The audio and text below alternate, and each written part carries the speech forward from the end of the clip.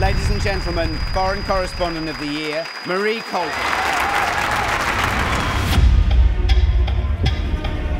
Where'd you get that eye patch? Uh, Treasure Island.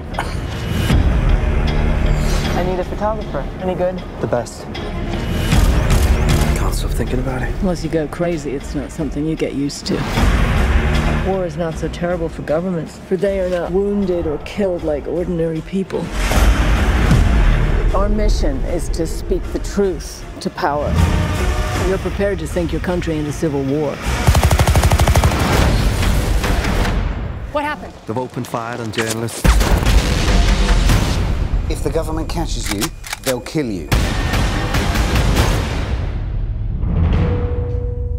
I have nightmares every night. You've seen more war than most soldiers. You have to take it seriously.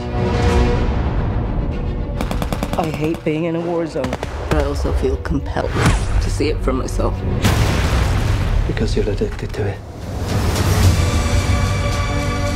If you use the sat phone, those drones will know where we are. We don't have time! No one in their right mind would do what you do.